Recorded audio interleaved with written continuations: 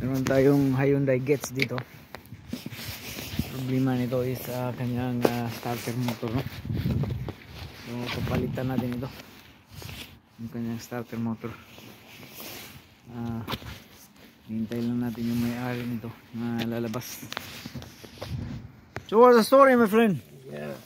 huh? Yeah, story is good story every What? every month. Have you got the parts I fagged out. uh, huh? This one, yeah. oh, it's fucking old man you sure this works Yeah, they said you know the working. huh? They, they said you know the working. they said it's working Yeah, they said yeah. I asked them. you sure? Yeah. It's fucking old man. Oh, How many times we repaired this one? that's normal man.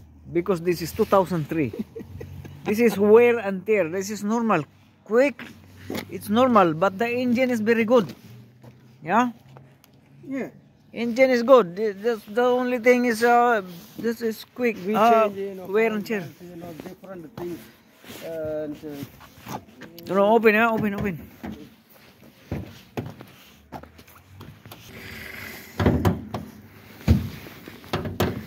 That's normal, the car has to be broken down yeah.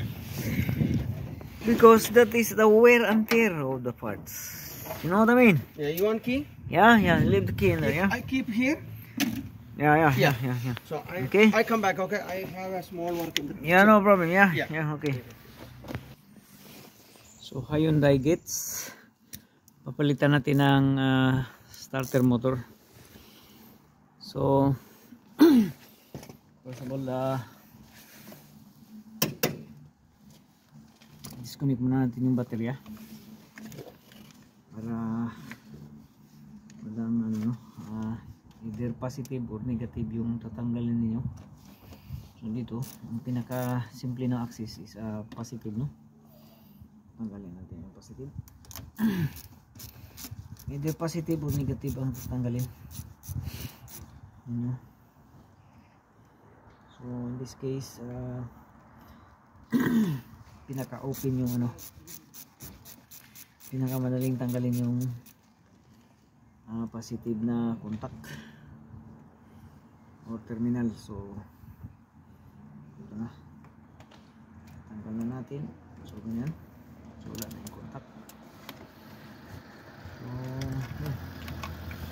Isa na natin magka ano sa ilalim roll out sa ilalim. Dahil yung kanyang ah, starter motor is somewhere hidden at the back of the engine.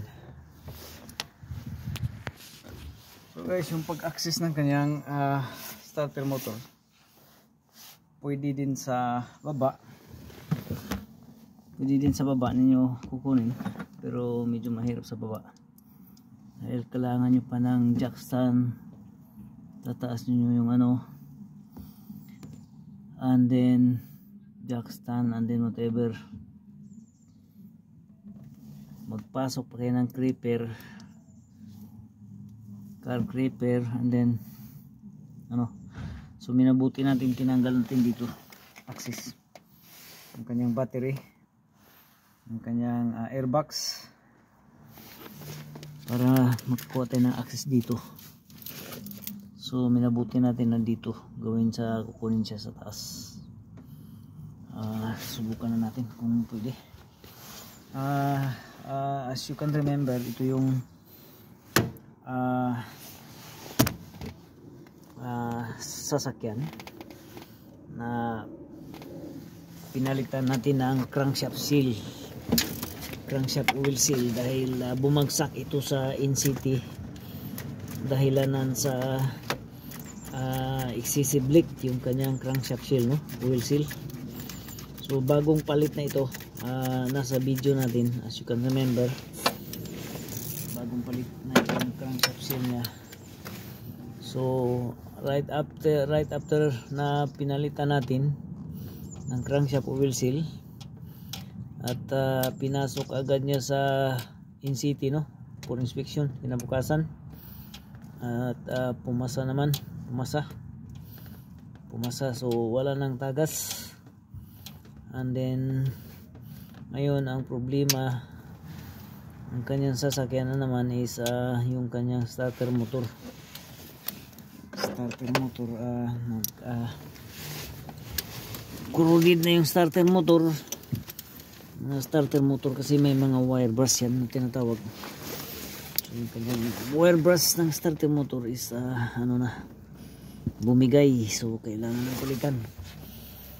So yun ah, papalitan natin at saka dito lang natin makukuha yung axis. Sinubukan natin makuha yung axis dito. Sa ilalim. Ah and then if not ah, talagang kukunin natin to sa baba ang pagkabit ito.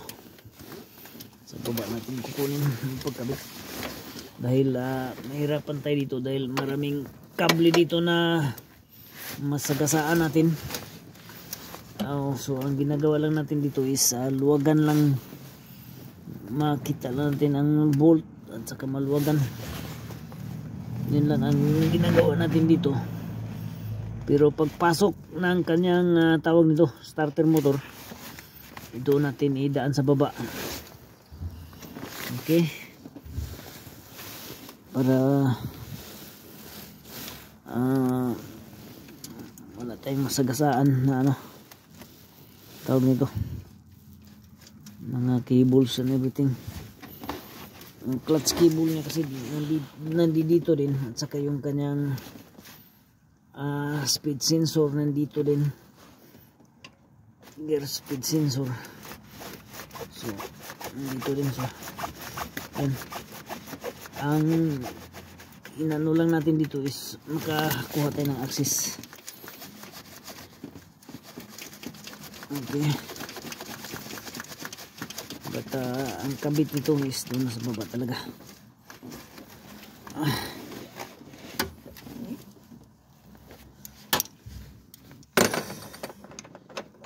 hard one, ah Inside, very inside. very inside of the back. You go here and then you go inside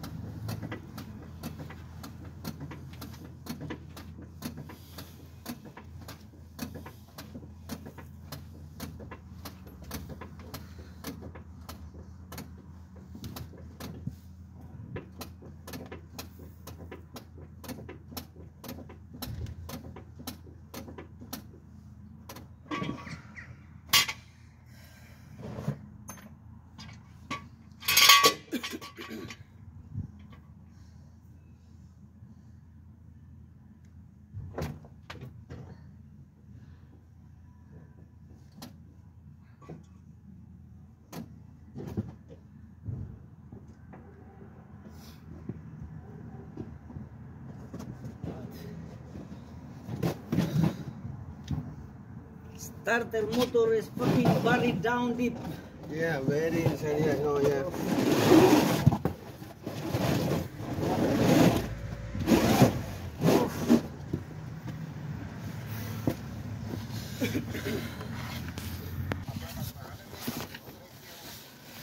ന- നാലര euro kilo ആ, അത് അത് പാക്കഡ് സാധനമാണോ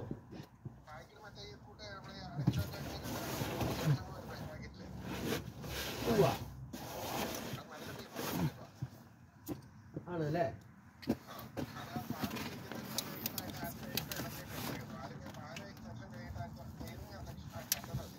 അവ്വാ എനിക്ക് വണ്ടി. ഞാനേ നിന്റെ ഡ്യൂട്ടി അവൾ പോയി. ഞാൻ ഇത് ഇത് റിപ്പയർ നടത്താതെ. അപ്പോൾ ഞാൻ ഞാൻ കാർ പാർക്കിൽ ഇതിൽ കുത്തിരിക്കുക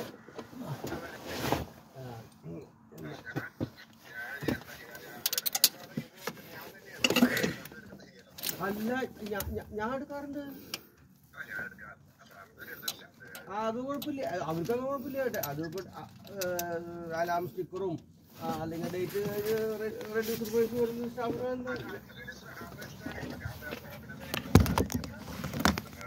അങ്ങനെ നമ്മൾ മടി നാണെന്ന് ഞങ്ങളുടെ എല്ലാവരും ഒരുപാടുണ്ടല്ലോ ഞാൻ ഈ സാധനം ഞാൻ സാധനം റെഡ്യൂസ് ചെയ്ത്